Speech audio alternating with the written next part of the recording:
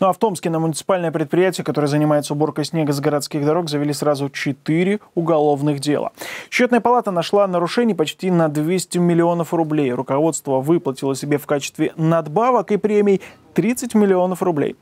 Проверка аудиторов обнаружила еще ряд интересных фактов. К примеру, несуществующую мусороперегрузочную станцию за 46,5 миллионов рублей. В счетной палате пришли к выводу, что на предприятии искусственно завышали объемы работ при ремонте и содержании дорог.